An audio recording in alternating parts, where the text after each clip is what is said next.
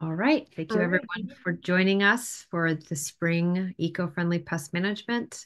I'm Suzanne Bontempo, and I'm joined here by Charlotte. Hi, everyone. Thanks for being here today. We're going to talk, uh, yeah, eco-friendly spring pest management today. And thank you to the Alameda Countywide Clean Water Program for hosting us today. Uh, today, we're going to talk about uh, about for an hour, and then we'll have time for questions at the end. Uh, we are going to talk about the Our Water, Our World program, integrated pest management, kind of uh, having an understanding of pests and pesticides.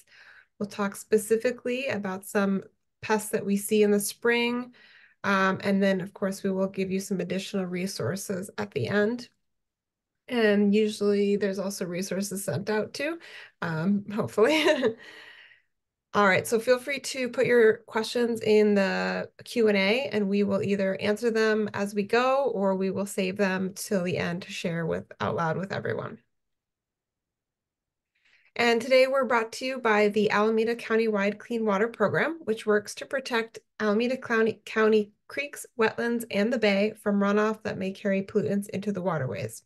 Related to gardening, that means avoiding chemicals that can be washed off the lawn and garden and into the storm drains by irrigation and rain. You can learn more about the program at cleanwaterprogram.org and you can sign up to get to be on their newsletter um, email list. On the right-hand side, there's a way to sign up there and you'll get um, notified about upcoming events uh, like these webinars and other events related. And if this is your first time joining us, welcome. Um, if it's your not your first time joining us, also welcome. Um, but I just want to share that we have done many, many uh, webinars with the Clean Water Program of Alameda County. And if you are interested in hearing or watching any of those webinars, we've done them literally for like four years now. So we have a lot on um, a library of uh, many topics you can go onto their YouTube channel, uh, Clean Water Program Alameda, or something like that. You'll type it in and you'll find it. Um, you can learn about pollinators, soil, uh, drought proofing your garden, veggie gardening, rose care, a lot of different um, subjects that we've covered through over the years. So if uh, you're missing anything today, you want more info, go back and check it out. We've probably covered it. And if you have suggestions for other topics that we haven't covered, feel free to contact us at the end or send in um, a chat. And now the um, Our Water World program is a uh, award-winning program and it's focused, it's primarily a clean water program with the goal of reducing pesticide pollutants uh, in our waterways. And it is primarily a partnership between water agencies and retailers um, like hardware stores and garden centers, designed to bring awareness between pesticides and water quality and provide pest problem solving education. Um, so you can see materials in stores and you can have you can take handouts like the rack on the right. Uh, there's usually a rack of handouts that you can take. There's sometimes QR code posters you can scan get that information on your phone. You can see most stores have those blue tags on the shelves highlighting the less toxic products. Um, and then you can also learn more, you can see all of our fact sheets and learn more about less toxic products at ourwaterourworld.org. So we're a clean water program focused on pesticide reduction. What is the connection? Uh, when water from rain or irrigation uh, you know, hits the soil or the hardscaping, doesn't soak into the soil, it runs off into the street and down storm drains. Uh, the water that goes uh, into the storm drains uh, will directly go right to a waterway without any treatment in between. This means that everything we do out in the world, whether it's spraying pesticides, washing our car, walking our dog, has a direct line to a waterway. And it's our Water World's mission to reduce the potentially hazardous materials that go down the storm drain. And we do this through primarily through teaching integrated pest management. Um, men, if you've seen us before, you've uh, heard us talk about IPM. Um, this uh, pyramid kind of shows the principles of IPM by most important to the least utilized tools or strategies. So prevention is the foundation of pest management um, and what we as homeowners and gardeners should be focused on. Prevention will reduce most pest issues. Uh, from there, we focus on uh, the health of the environment with cultural practices and sanitation. Uh, we utilize physical or mechanical controls like traps, barriers, and tools. Biological controls focus on the health and diversity of the ecosystem, utilizing natural enemies uh, to reduce pests. And then at the tippy top, the least utilized, uh, the small section would be, um, as a last resort, the chemical controls or pesticides. So again, prevention is the most important part of uh, dealing with pests. You can get ahead of a lot of pests out there. So uh, first, it what prevention looks like in the garden is just good garden maintenance. So we're going to identify what plants grow well in our climate or in our region or in our yard and choose the right plants for our yard. Uh, those plants will be better adapted and healthier and just easier to manage. We're going, and of course, we're going to, you know, plant them so they have enough space and the right sun and the right water as well. We're going to use tools like drip irrigation, row cover, or like wire barriers uh, to prevent pests, uh, either to you know keep our plants really healthy or to prevent pests from getting to our plants. Rotating our crops um, is going to be really helpful to reduce especially those veggie pests uh, that can overwinter in the soil. So trying to plant food in different areas in this in the garden, uh, you know, mix up that soil. Well, not mix up the soil, but plant different plants in the same area, or yes, in the different areas. Sorry, that was confusing. Um, light pruning, um, harvesting food crops, just general sanitation, getting rid of diseased plant material can prevent a lot of pests and disease um, understanding what pests are expected and when, uh, be ready for them, you know, talk to your neighbors, monitor your garden closely, understand pest life cycles, will understand what you have to do um, at different times of the year to get ahead of pests. And then utilizing horticultural oils or fungicides during the dormant season can also prevent or reduce pest issues.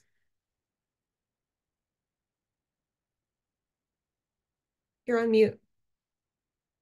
Suzanne, you're on mute. I knew I was going to do that. I have been waiting for the seasonal outburst of aphids to show up, and it hasn't really happened yet. So I'm thinking, boy, is my prevention tactic so good that I have reduced aphids significantly? I don't know. I don't think that's the truth. I just don't know what's going on. But what is a pest? So, for us home gardeners, a pest is an organism uh, typically, uh, an insect. Uh, some people will consider spiders a pest, but you know they are actually very beneficial. But it's usually an insect that annoys us, maybe a fly or a mosquito that flies around our head when we're trying to enjoy some time outside, or something that's going to damage food and flowers. Uh, and, you know, oftentimes what might be a pest to us, which is maybe just a nuisance, is not doing any harm to the plants themselves. So we really want to understand our different thresholds of tolerance. So proper proper identification is key. We want to understand what is really going on. I actually, I don't want to say I get excited, but I do appreciate when I see a pest in my garden because that is actually telling me or showing me that something else is going on. And until I can identify what really is going on, then I can't really solve that problem. And that pest or that surplus of that insect is actually, you know, telling me a story. But then from there, uh, we want to uh, understand the life cycle of that pest and then understand if it's something that's going to uh, kind of work through its life cycle and correct itself over a short period of time, such as spittle bugs. They just kind of always show up in April, but then after a couple weeks, they just disappear. So they've completed their life cycle without doing any harm to my plant to my plants.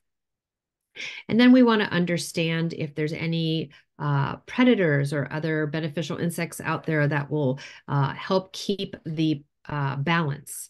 So in this photo here, we have two caterpillars that are feeding on the leaves of the plants. The one on the left is the monarch butterfly caterpillar. Monarch butterfly we can all identify as something that's cherished and loved and we're trying to protect. The caterpillar on the right is not as recognized, in fact, is oftentimes categorized as a horned worm, such as a tomato hornworm or a tobacco hornworm, which we view as a pest. However, if we let it complete its life cycle, it turns into a sphinx moth or a hummingbird uh, moth, which is a very important pollinator.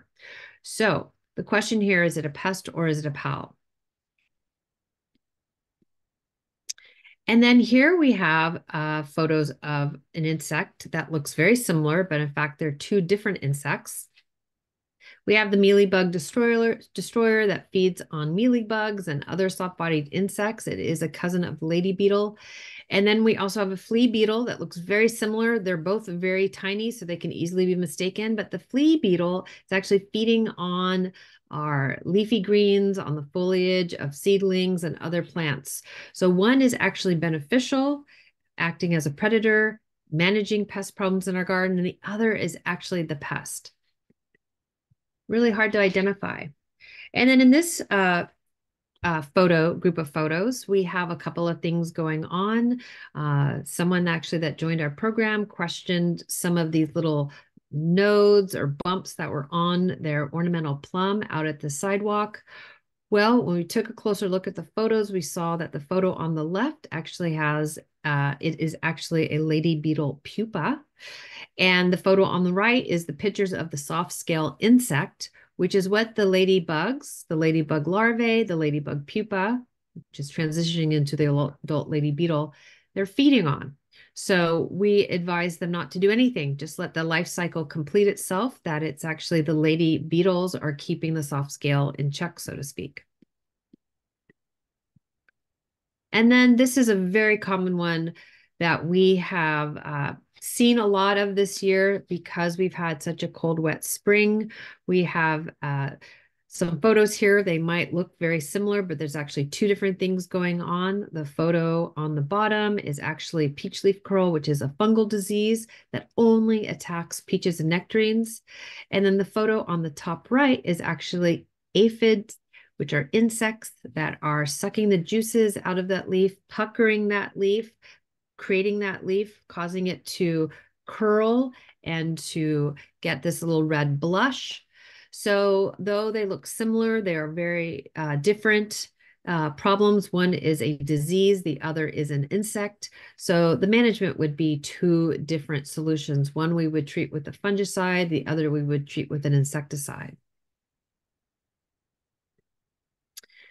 And then um, something else, since it is spring, we might notice that one of our plants might be hit really heavily with a very large population of aphids where a plant right next to it may not. And oftentimes that is very curious and we might wonder why. I've got two roses side by side, but one just happens to be completely covered with aphids. So we want to take a closer look and understand that something else is going on. This is what I was getting at uh, a couple moments ago. So that rose either maybe the irrigation is broken or maybe it got buried a little too deep or maybe there is uh, some gopher nibbling at the root zone. Maybe there's some other root damage. Um, maybe we've been feeding heavily with synthetic fertilizers, but perhaps this rose is slightly downslope. So most of the fertilizer is landing at the root zone of this plant. Hard to say. But those are just some examples of what we look at when we see uh, plants that are inundated with a, a population of aphids to this extreme maybe the plant is at the end of its life cycle too. So it's not unusual to see kale or chard that's already uh, bolted, getting covered with aphids. But the good news is, is that aphids and other pests are very host specific. Uh, so typically when we have aphids on a rose like this, we don't have to worry about these aphids going to maybe the zinnias in the area or the dahlias in the area or your leafy greens. They're going to really stick to just that one plant. And uh, it is really important to understand the why, why this might be happening, get a little curious. Uh, and then and something else to keep in mind is that there might be just lack of beneficial insects in the area that would help keep the balance. So you'd want to do what you can to increase the beneficial insects in that area. Which beneficial insects are pollinators, are predators, are um, parasitic wasps, and others are going to um, and expand out to our western fence lizards, our birds. These are all helping us keep that balance, helping us grow that healthy garden ecology. So uh, keep in mind that some pests are seasonal and to be expected, but these pests are actually food for that ecology that we're trying to build, that we're trying to establish. So uh, for me, I actually get excited when I see some aphids. In fact, I'm quite disappointed, believe it or not, right now that I don't have more because I want to make sure that there is enough food for the beneficial organisms that are coming into my garden, all of the natural enemies that are looking forward to that food. I want to make sure there's enough for them. Um, but as I just shared in the previous screen, that an infestation of a pest can actually be a clue that the plant is stressed and that there's another problem going on. So it's a good time just to get cu curious and take a closer look. All right, so some of you might have seen that previous picture and been like, ah, we gotta spray something on it. that's that's a totally normal reaction. Um, we have been kind of conditioned to uh, think that pesticides are the answer and the main sort of mode of control in pest management. Um, and yes, pesticides can be helpful in certain situations. They do kill the pests, but they're just one component of the, the solution. So later in the program, we will talk about different pest problems and how to manage them with other uh, strategies, but also mention, of course, the less toxic pesticides that can be effective. Um, so I just want to clarify what is a pesticide. Um, a pesticide is really a, a, product or a material designed to kill something, um, and that encompasses. Uh, so pesticide is the broad term that includes insecticides, includes herbicides, fungicides, rodenticides, molluscicides, miticides, um, anything, uh, and it can be made of natural and organic materials, you know, uh, of, you know, natural oils, essential oils, um, or it can be synthetic. But all of those uh, fall under the category of pesticide. And um, yeah, as Suzanne mentioned, pesticides do kill pests, but they don't solve the problem. You always kind of have to go back to the why this is happening. Pests are often the symptom of a problem, um, but they're not that using a pesticide is not necessarily the solution. It's definitely not the long lasting solution. So when we use pesticides, we're going to use them as a last resort. We're going to choose the least toxic and most eco-friendly product available to us. Uh, we're going to apply according to the label. We're always going to wear our PPE. That doesn't need, mean you need like a hazmat suit. It just means you want to protect your, your hands, your eyes, your lungs. Um, you know, certain products still, even if they are eco-friendly, they still can cause harm. So you do want to make sure you're properly covered.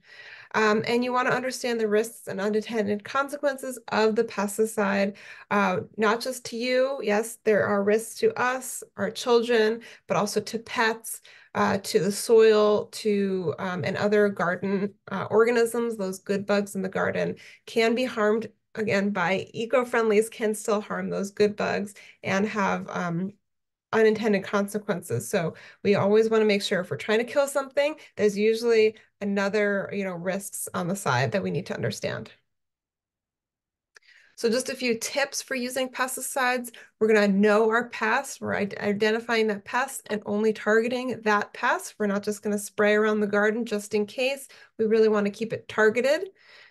We're going to understand the timing um, and know the pest life cycle so that we are applying that pesticide when it's going to be most effective. Uh, we want to understand, and this also goes in hand, we want to understand the active ingredient of the pesticide and how it works. This will also help us apply at the best time. We're going to avoid applying when plants in, are in bloom. This is because we, you know, when plants are in bloom, there's lots of pollinators coming to the garden. Um, they want to get that nectar, that pollen. They we want them there so that they can pollinate our plants and our fruits, our flowers and our fruit. Um, but uh, pesticides, even eco-friendlies, can harm them. So we don't want to apply uh, just to reduce that risk. We are going to apply at dusk um, and in uh, temperatures lower than 85 degrees. Uh, I would say there's a, except for herbicides, herbicides do better in sun and heat, but everything else we want to apply at dusk. This will reduce risk to uh, the beneficial insects and will reduce risk to our plants so that they don't get burned. Uh, of course, we're never applying when there's a breeze or when it's super hot or there's going to be rain or frost. This will reduce plant stress, keep the pesticide where we want it. Um, and then if we do want to release beneficials or we are trying to attract beneficials to the garden, uh, I would definitely, you know, give them time to arrive and to find the pests and to do their thing before we move on to using a, um, a pesticide. Um, and now different types of pests require different management. So again, we always have to identify the pests first. And then if you learn more about that pest, you will learn kind of how they are, uh, you know, harming your plant. Uh, there are uh, insects called like sucking or that have sucking or piercing mouth parts. These would be like aphids, whitefly nymphs, um, scale. Uh, these would be um, managed by just, you know, mostly wiping them off. They don't move very fast. So you can just wipe them off or syringe them off with water, a strong stream of water on your hose. Uh, they're very susceptible to beneficials. So, uh, you know, ladybugs can eat 5,000 aphids in their lifetime. So bring in those ladybugs, those lacewings. Um, we're going to avoid synthetic fertilizers because uh, synthetics grow thinner cell walls, making the plants easier to eat and therefore more attractive to the pest. Uh, we're going to irrigate uh, properly. We're going, and then if we do want to use a pesticide, we're going to maybe first use an insecticidal soap um, or a horticultural oil. Then if we have chewing pests, again, chewing damage can look like a lot of different pests can cause chewing damage, not just insects.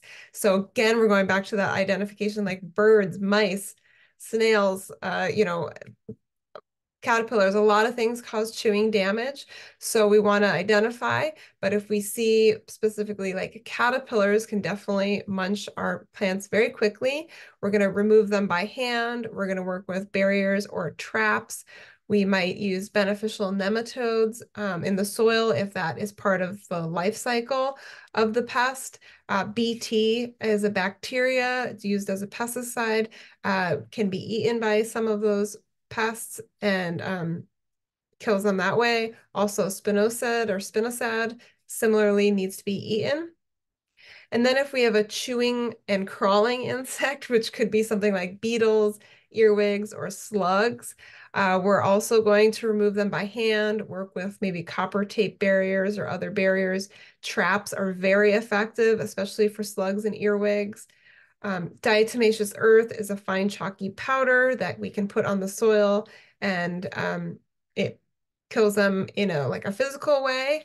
Um, and then iron phosphate or iron phosphate with spinosad. Uh, those are granular baits that can be used on the soil and they're um, they're naturally occurring in the soil. Like iron phosphate is naturally occurring in the soil. So it's not harmful to the soil if it kind of just melts back in and isn't eaten, but it is very effective for snails and slugs. And then just a couple notes about some very common uh, pesticides that we see on the shelves. Um, again, we want to know how they work, and these are just three of them. So if you're using something different, I recommend uh, looking that up and we'll give you resources to read about them. Insecticidal soap, excellent, um, you know, very low toxicity product. Uh, it is the active ingredient is potassium salts of fatty acids. It is a contact spray or contact kill.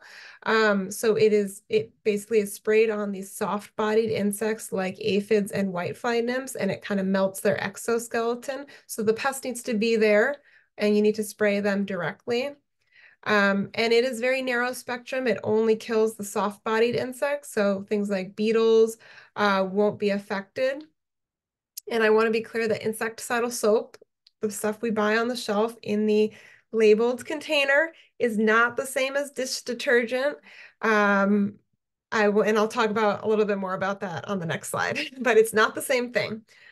Um, then there's neem oil, very popular product. Most products are, the active ingredient is clarified hydrophobic extract of neem oil from a neem seed. Um, it is also a contact kill and it acts as a suffocant. So basically anything it kind of comes in contact with, it acts, uh, it kind of just coats it and suffocates it.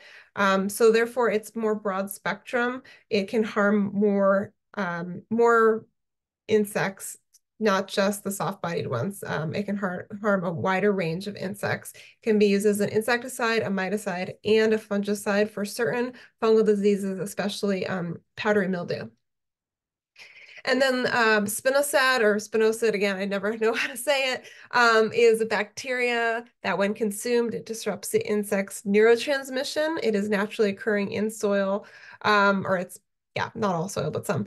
Um, it needs to be ingested. So again, we have contact kills, we have suffocate, also contact kill, and then we have something that needs to be ingested. So we need to spray it where the pest is and is actively eating so that it gets to it. It is broad spectrum. It kills a wide range of insects. Um, insects with chewing or rasping mouth parts. So those caterpillars, um, thrips and uh, many others. Um, but we again, we're reading the label. On the label, it does share that spinosad is limited to six applications a year. Uh, we need to adhere to those limitations because if we push it, um, go over that, we are risking um, pesticide re uh, resistance. So we don't want to go over that limit. Those limits are in place for a reason.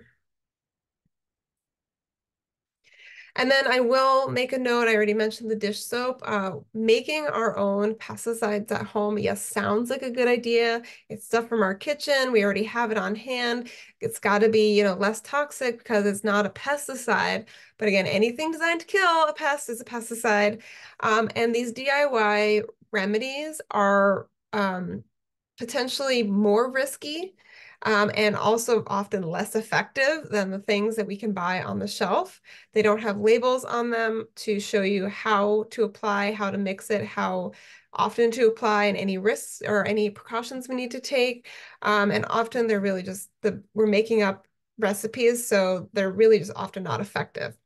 I wanted to note that dish soap the you know common dish soap that we have is a detergent, not soap. So it's it's different than insecticidal soap dish soap uh, or detergents have degreasers in them, um, you know, to take the grease off of pans. Over time, those degreasers will harm uh, leaf tissue um, and harm, you know, your plants over time. So we don't recommend using those detergents. They also have some ingredients, or some of them have ingredients in them that can cause um, aquatic toxicity. Salt, uh, overusing salt is can be detrimental to the soil, worms, and other soil organisms. And then vinegar, very commonly used as a weed killer. Um, household vinegar, the stuff we put on our salad, is about 5% acetic acid. Uh, I know some people try to use it as a weed killer and say it works, but it's unlikely that that level of acetic acid is going to work as an herbicide. Most horticultural vinegar is 20 to 30% acetic acid. And um, at that level, we're taking great risk when we're using it. Yes, it can be an effective, less toxic uh, uh, herbicide for sure, but we do need to have uh, use precaution when we do apply it because at that 20 to 30% level, it can burn our skin, uh, cause blindness, and is corrosive to metals. So again, we want to be covering up, not using it when, uh, you know, there's wind um, or any way that it can go where we don't want it to go. Back to you, Suzanne. Thank you, Charlotte. Okay, so what a great foundation to when we use pesticides. All right, so I'm going to walk us through some of our common pests that we see this time of the year. So aphids. Aphids are the most common pests we're going to see in the garden. There's actually over 5,000 species of aphids worldwide. Uh, remarkable. Um, they're going to vary in color. Some have wings, most do not. They have straw-like piercing mouth parts that puncture the plant's cell wall to access those sugary juices to the plant. So when Charlotte said to avoid use, using synthetic fertilizers because they grow thinner cell walls, that's exactly what's going on. We, that's why we uh, talk so much about the benefits of feeding with organics and building that healthy soil. To grow thicker cell walls so the pests like aphids cannot access those sugary juices. Um, um, I'll also say that each color aphid is very host specific. So it's not unusual for that um, oleander aphid, which is golden, the one in the middle, to show up on our milkweeds and other plants that are in that family. That limey green one will show up on our roses um, and some other flowering plants. The one on the bottom, which is uh, the woolly aphid, is that one happens to be, oh, it's the cabbage aphid. I'm sorry, I got it mixed up. It happens to be on the tomatoes and other brassicas, even though tomatoes not a brassica, they just happen to like it. So we start to see this pattern. And that's why when we say they're host specific, they're not necessarily going to go to other plants outside of their feeding kind of zone or their their menu that they their preferences. So some aphid solutions, we're going to, you know, uh, be sure that when we feed our plants, we're feeding organically, we're building that healthy uh, root zone by adding compost to the soil and just really making that root zone is getting everything it needs. We're going to avoid regular pruning or over pruning because when we prune plants, it stimulates new growth. And that new growth has a thinner cell wall, which makes it very easy for uh, pests like aphids to uh, access. Uh, ants love to uh, farm the honeydew secretions that the aphids make. And so if we see ants trailing up a plant, it is not unusual that those ants are telling us that there's going to be something up there like aphids or maybe uh, scale insects or something else that secretes uh, sugary juices. So we want to um, say, thank you, ants, for telling me that there's another pest that I need to tackle. But then we want to manage those uh, ants by maybe making a pest barrier with something like tanglefoot or some type of a sticky barrier that we can then remove from the branch of that plant. And then we absolutely want to inv invite beneficial insects. I have a lot of insectary plants around my garden that will attract the beneficials, oftentimes the adult is actually looking for pollen or nectar, and they will only lay eggs if they see that there's a nice clutch or population of uh, aphids or other pests for their young to feed on. And then if we need to use a pesticide, uh, if we've already tried uh, wiping off those aphids or blasting them off with water, then we can work with insecticidal soap uh, applying it in accordance to the label. That's always my first go-to, but horticultural oil will also also work. And if it's something that's on like deciduous fruit trees or roses, we've just maybe got uh, our apple tree, for instance, just got a very large population of the woolly apple aphid, then we want to take note. And this next fall, when all those leaves drop and it goes into its dormant season, we want to take advantage uh, and apply a dormant application of a horticultural oil. And then uh, this is probably the most popular pest in my garden right now that I'm not excited about, which are going to be earwigs. And then the pill bugs or the roly-polies would be second. Uh, what happens is when we have a lot of moisture in the garden, um, we are going to actually attract these two types of insects. Uh, they're going to cruise around and eat our leaves of our plants and our little uh, vegetable starts and maybe even our ripe strawberries. So some solutions for the earwigs and roly-polies are reduce the moisture, which might sound uh, impossible, uh, we have very uh, moist evenings right now. There's a lot of moisture in the morning. So we want to be mindful that we're not adding to that by irrigating again. Or when we do irrigate, we're going to make sure we're watering in, in the morning and during those sunrise hours so that the garden can actually dry out before sundown. Because it's the evening when these uh, these critters are most active. And then another very effective way to manage earwigs and the pill bugs is with traps. We can purchase earwig traps. We can make our own. This is when it's okay to make your own on the UC IPM website. If you look up earwig management, there is a recipe how to make an earwig trap with a little can and with a little bit of water, a couple drops of that dish detergent, because we don't mind if it's dish detergent, and then a couple drops of something that's fishy like fish sauce, fish emulsion, or maybe um, something that might be similar attractant.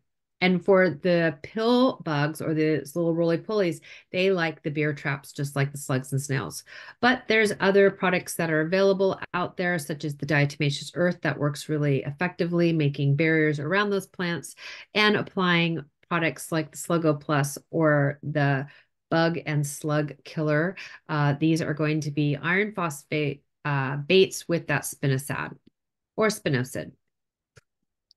And then citrus leaf miner, we're going to start to see that. That seems to start to increase around May when the temperatures warm up. The adult is actually a little moth. She's quite pretty, but tiny. Um, and then uh, when that new growth has, uh, that new flush of growth has occurred on the citrus, she will lay her eggs underneath those leaves. Those eggs will hatch, and then the larvae will uh, mine between the two layers of that leaf. So making it very difficult if we want to use pesticides. Um, when we're using high nitrogen fertilizers, we're actually increasing a lot of that leafy growth. So keep that in mind. Um, but uh, typically uh, minor infestation of the leaf miner is not going to harm the tree. We're really looking at about the 10 to 15 percent range will be the tolerance. If it's any more we will want to take some action. So some solutions for citrus leaf miner will be um, prevent plant stress, feed with organics, make sure we're watering deeply and we're letting that root zone dry out some before we water again. We can um, try if understand that there's parasitic wasps. That's what this picture is. This is a parasitic wasp that's very, very tiny. Um, and it doesn't sting, but in fact, the uh, the stinging apparatus, the ovipositor, is actually now uh, dropping eggs into the larva of the citrus leaf miner, and then those eggs will hatch and they'll feed the in, uh, feed the inside of the, that larvae, and then emerge as an adult uh, parasitic wasp. So they're using the pest as a host as part of their life cycle. So this is very exciting. Um, and another reason why we want to avoid using pesticides because the parasitic wasps are in the area and they are actively keeping the balance. Uh, however, uh, if we need to use a pesticide, um, we can um, decide what the threshold of tolerance is by one monitoring. We use that. We we monitor with the citrus leaf miner traps. They have a lure that will attract the adult moth. And when we see that there is an abundance in the trap that could be our timing to use a product such as spinosad which is that liquid pesticide. Um, that comes in the brand of Jack uh, Captain Jack's Dead Bug Brew, Monterey Lawn and Garden, uh, Garden Insect Spray. There's a couple other brands on the market, uh, but this is very effective. But we want to be very strategic because we are limited to only using it six times a year to prevent that pesticide resistance. We can also use uh, horticultural oils. Uh, like mineral oil, neem, Organocide. These are going to also act as suffocants. And then the vegetable leaf miner, which is very different, but for us uh, vegetable uh, growers, we are going to start to see its activity as well as the temperatures get warm. And we see vegetable leaf miner on uh, chard, beets, spinach, um, it might be on something else. I forget. I apologize. But uh, the larvae will overwinter in the soil. And as those soil temps and air temps warm, they will uh, emerge as the adult fly. The fly will then lay its eggs on the leafy greens. Those eggs will hatch. The larvae will then go in between the tissue and feed and make this kind of cellophane look to our leafy greens.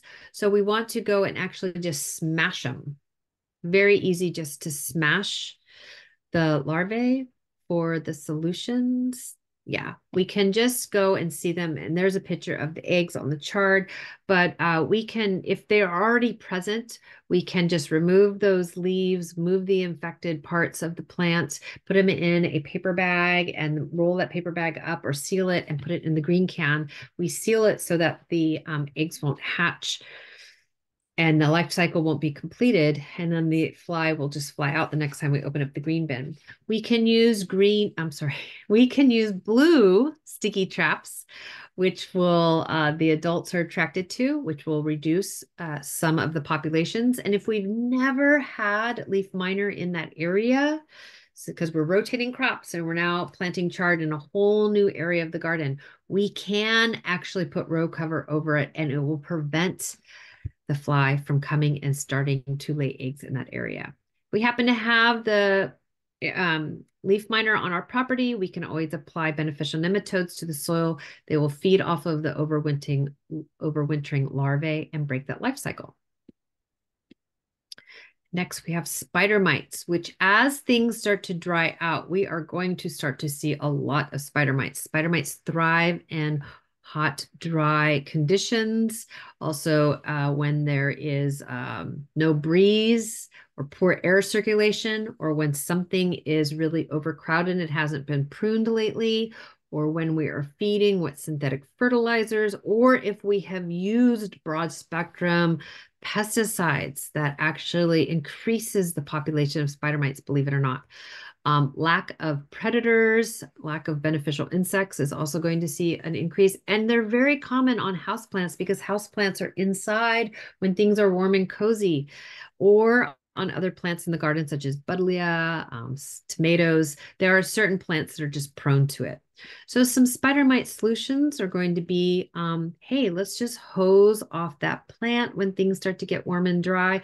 Let's make sure when we are irrigating that soil, uh, when we're watering that plant, we are watering it to that plant's needs, which means letting that plant dry out between watering, watering it deeply, making sure it's not staying too wet or staying too dry. We are going to uh, thoughtfully prune to open up that air circulation. We're going to monitor for the pests and really tackle it at first sign. If we know that that buddleia always gets uh, um, spider mites, then we want to get ahead of it and really like start to pay attention and, you know, address it as it is occurring. We are going to uh, feed organically and help those plants live their best life possible. And plant insectary plants in the area to attract those beneficials. And if we need to use a pesticide, we're going to start with uh, those narrow spectrum pesticides such as insecticidal soap, which should work perfectly. But then we can use other products like the horticultural oils. We can use the natural pyrethrin um, products that are blended with canola oil. One of those brands is going to be Takedown by Monterey. These will all work at, if we are applying them in accordance to the label. And then the next is going to be beetles uh, and weevils and other kind of problematic uh, uh, pests that chew our flowers and then they kind of wreck our flowers. Um, they're going to seem impossible especially down in uh, the Fremont area. We seem to get the the weevils are very popular down there and really have a tendency to do a number on our roses. But we are going to go out. Uh, I like to call it the dusk insect walk, where I go around at dusk with my soapy bucket of water and I really it's just a little, you know, plastic container and I'm literally just knocking them into the water because at the end of the day, the sun starts to go down, the temperatures start to cool, they get very slow and it is very easy just to knock them into the water. And it's quite gratifying to do that, to be honest. And our next pest here is mosquitoes. So a couple things to keep in mind that there's over uh, 2,500 different species of mosquitoes throughout the world, of which about 150 species occur in the United States, 30, uh, 53 uh, species occur in California, and there are 22 of those that are here in Alameda County. Eight of those species are actually uh, the 99% uh, or the 99% of the complaints we get are just eight of those 22 species. Uh, so that is really what we want to think about. Um, keep in mind that mosquitoes, the male is a pollinator, it's the female that is going for the blood feeding, um, and they breed in the water. So, how we would manage the mosquitoes is when we go outside, we want to wear protective clothing. And keep in mind, there are day feeders now. So some of those species are now feeding on, a, on us during the day. So when I go on a hike or if I'm in those areas where it might be more wooded or like marshy areas where there's a lot of water, I'm going to wear protective clothing. Uh, around my property, I want to empty any um, standing water. So if it's a saucer that's under a pot that just seems to collect water, or if there is a tarp over a bicycle that always seems to collect water, or maybe there is a tire or there's just some uh, kids' toys or a kid's swimming pool or anything, a bucket anywhere in the garden that maybe collected some water over last week's rain, then I want to make sure it's upside down that I've dumped it. I want to make sure that we keep our doors and windows closed, that we actually install screens screens that will prevent those flying insects from coming in. We want to inspect the rain gutters around our the perimeter of the roof because oftentimes if they get clogged, they will create a little pocket of uh, water where we can actually be breeding these these mosquitoes. Um, and then we absolutely want to use the larvicides, the mosquito dunks and mosquito bits and anything like a rain catchment system or a pond where the water is not circulating enough, where the water needs to be there, but we just want to make sure that we're killing the larvae of those mosquitoes. And then flies. Flies are going to be similar to the mosquitoes, but of course, we're not looking for standing water. We just want to uh, inspect any sources that might be attracting them, like the garbage bins, any dead animals, pet waste, for instance. We want to use a lot, utilize those fly traps. They work extremely well. We want to make sure there's screens on the doors, screens on the windows, and make sure there's no holes in those screens, okay? Because they can fly through and fit through those little holes. And then putting a fan on, either installing a ceiling fan and having it on low or just a standalone fan, having it on low, actually will prevent flying insects from coming in the house because they are not strong flyers. And then fungus gnats. Fungus gnats are very problematic. They actually thrive on moist conditions and they feed on uh, decomposing organic matter, the fungus that is in the soil or the fungus that grows along the root zone of the plants when they are too wet. Okay, so how we correct it is that we are going to avoid overwatering. We're going to let things dry out in some cases we may need just to completely replace the soil uh, we if it's a house plant we want to consider maybe a soilless planting medium which is very common uh, and that will definitely reduce it we can use uh, sticky traps uh, that are going to the adult fungus gnat will stick on and that will break the life cycle for obvious reasons. And we can also apply beneficial nematodes to the soil. They will feed on the larvae. We can also apply the mosquito bits, similar to the mosquito dunks and the same product we would use for the mosquitoes. The mosquito bits are also listed and registered for use for fungus gnats. They feed on it and it is very effective with killing them. So these are all great solutions for managing the fungus gnats. All right, now speaking of uh, overwatering, we will talk about some fungal diseases. Uh, the three most common uh, diseases that we will see on our plants, these are foliar diseases, uh, so they show up on the leaves, would be black spot, uh, which is looks exactly what it sounds like, little black spots on leaves, Rust would be a uh, reddish um, orange looking color on the leaf. Um, and then powdery mildew would be like a white, uh, just looks like powder on the leaf. So pretty easy to identify these. Although, you know, sometimes uh, I would say sometimes there's a little confusion with some um, environmental things, but for the most part, they're pretty easy to identify. And now, um, uh, overall, with all diseases, uh, fungal diseases, we want to increase the soil and garden health, healthier plants. will be able to fight off diseases if they do arrive, ensuring that the plants have good airflow uh, between them and within its own, within itself, um, is going to prevent most many diseases. And then anytime we do see any diseased foliage, we want to remove it. Um, now, then there's a little bit of a split on how we treat powdery mildew versus rust and black spot. Um, powdery mildew is a kind of an unusual fungal disease in that it actually likes warmer, uh, drier conditions. So um, we'll actually start to see it later in the summer when um, the, the temperatures get uh, higher and there's less moisture in the air, though the um, foggy, cool evenings plus warm days is actually like a really good combination for powdery mildew. So we are still, we're going to start seeing it pretty soon. So because powdery mildew uh, doesn't like water and doesn't like moisture, uh, we can wash powdery mildew off with water, either with a hose or just wiping off with a wet paper towel, um, and do that early in the morning so that the plant can dry out before nightfall because then we don't want plants to be wet at night because plants that are wet at night can invite in other fungal diseases like rust and black spot, which thrive on moisture and cool temperatures. Um, so uh, we're going to make sure that we're not getting, uh, you know, except for very carefully treating our powdery mildew, we're going to try to avoid watering, getting water on the leaves. So we're going to avoid over, overhead watering with like a, a sprinkler or a hose. And we want to reduce any splashback. So if we are just watering the soil, um, there's sometimes the water can splash up into the plant.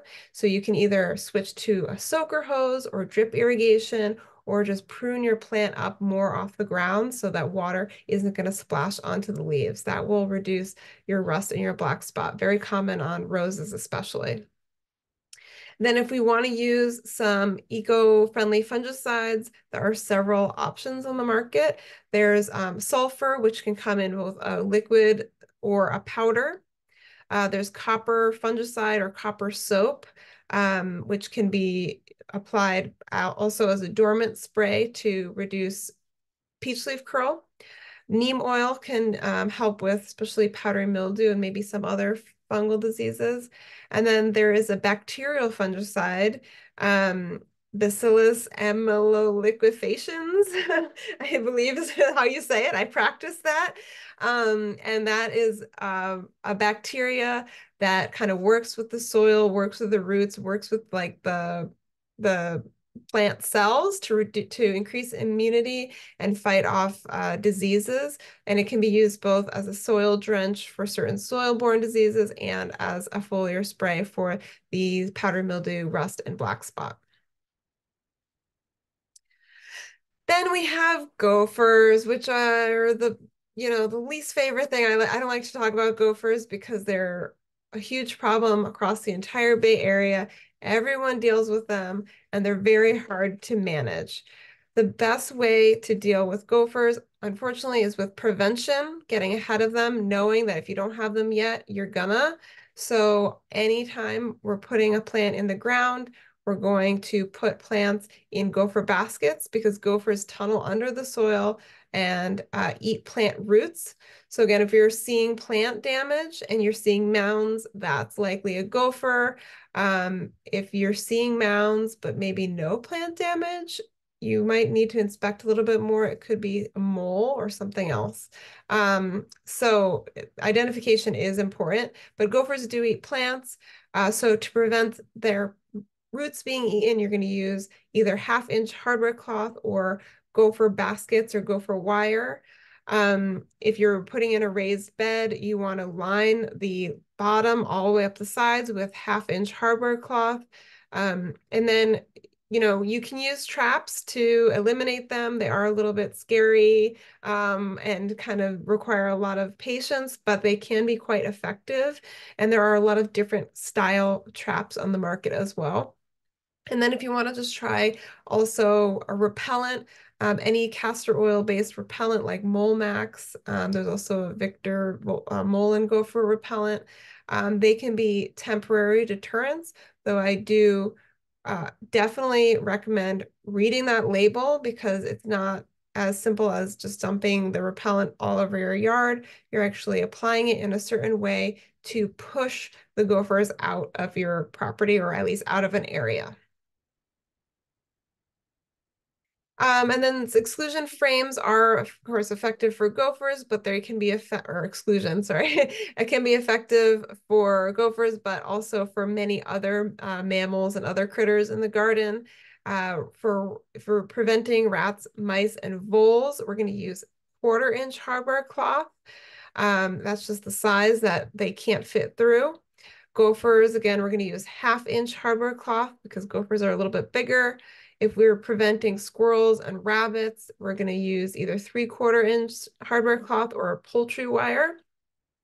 And then if we have deer causing problems, we want to use uh, a seven foot tall fence or taller. I would think, and it also depends if you're on a slope, you want to be taller as well few other options for exclusion. You know, they can be very elaborate and tall that you can walk into. They can be custom for a raised bed. They can also be quite simple, just some PVC piping um, and some hardware cloth. They can also, there's that one in the middle that's just bird netting. So maybe just keeping birds out, but not worrying about other critters. Um, there's a lot of different ways to exclude pests in the garden. And then for our digging pests like cats and raccoons and skunks, uh, again, physical barriers are going to be the best uh, a really great option for you. Uh, covering the soil or the planting beds where they're digging. You can use um, what's called like a cat scat mat. That's for cats to kind of just, um, you know, bother their paws when they try to go to the bathroom on your planting beds. Uh, poultry wire can also be really effective because they can't dig, uh, which they like to do when they go to the bathroom. Um, so if they can't dig, they're not going to go, or it's going to bother their paws, so they're going to go somewhere else. Um, you can also covering the whole whole planting area with bird netting, either on the soil again or um, over the whole area too to keep them out. Um, but and this can help with raccoons digging as well, skunks kind of looking for grubs. Uh, if they can't physically dig, they're gonna try to find somewhere else to go. And then lastly, we're just going to touch on a couple of invasive pests, uh, something to be aware of um, especially because, you know, camping season is kind of upon us now. So the easiest way to prevent invasive pests from moving, you know, from coming into your yard or from moving throughout the state is to not move firewood. So we're going to buy it where we burn it if you're going camping, you're going to buy wood from your camp host or from the local store or the camp store. Um, and if you're burning at home, you can buy wood from a local grocery store or hardware store. So always buying the wood as close as you're going to burn it. Um, and then if you have citrus in your yard, you should be aware of this invasive pest, the Asian citrus psyllid, which um, can infect citrus with Huang Long Bing disease. Um, it is present, these the psyllids and the disease are present in California, but are very carefully managed with quarantine areas. And there's a lot of restrictions about moving trees and fruit throughout the state. Um, so, but if you do have citrus in your own yard, you should familiarize yourself with what these look like. They're um, the adult psyllid is really tiny. It looks like an aphid, uh, but it has a very unique kind of um, feeding. It always feeds at a 45 degree angle. Um, the juveniles have this like waxy tubules. Um, so it could look like, you know, mealy bugs or something else, but with a closer look, you'll see that it's different. Um, and then, yeah, the eggs are hard to see. Uh, they're usually on the new growth on the folded leaves. Um, and then the disease, once the, with the tree is infected, the disease can look like um, mottled yellowing on the leaves, which unfortunately is very common on citrus. Citrus does often have yellowing uh, leaves. Uh, so, but that's often caused by nutrient deficiencies or watering issues. So again, just because you have yellowing um, blotches on your leaves doesn't mean you have this disease. You have to kind of inspect the tree. But if you ever do you suspect that you have the psyllid or the disease, you can call the CDFA hotline. Um, and I definitely do that if you really suspect it. And then lastly, uh, the spotted lanternfly is not in California yet, thank goodness, because it can cause a lot of damage. It is in like the mid-Atlantic states. Um, it's a very invasive pest that has uh, many host plants, including grapes, hops, apples, stone fruits, uh, almonds. So we really don't want it in California, like really, really, really don't want it. Um, so we are really focusing on getting the word out. Early detection is critical. Um, it is a very beautiful moth. Um, the adult is very beautiful. It has two nymphs that are quite unique, and I've seen them in real life in New York, don't worry. And they move very crazy. They jump really high, far, hard to kill. And the egg masses, unfortunately, look, uh, they really blend in. They can look like lichen. So trying to familiarize yourself as much as you can. If you see anything that could look, look like it, definitely call the CDFA hotline immediately. And then um, you can also reach out to your, if you have any other questions about other invasive pests, you can talk to the UC Cooperative Extension. Uh, the office for Alameda County is in Hayward. Also in Hayward, the Agricultural Commissioner as well. So uh, reach out to them with questions. Lastly, we have our resources for you, the Our Water World website, the UC IPM website, which has tons and tons of um, information on pests in California. To learn more about those active ingredients that we talked about, you can go to NPIC, uh, National Pesticide Information Center for really easy to understand info about um, pesticides and their how they work and how any risks that we need to be aware of. And then if you need to identify any bugs, I do recommend bugguide.net. It's a fun place to go to look at lots of pictures of bugs. And with that, I'm going to say thank you for joining us. And uh, we are here for questions. There is our contact information. You're welcome to reach out to us and we'll hang out for a moment if you have any questions. Thank you so much. That was great. I'm going to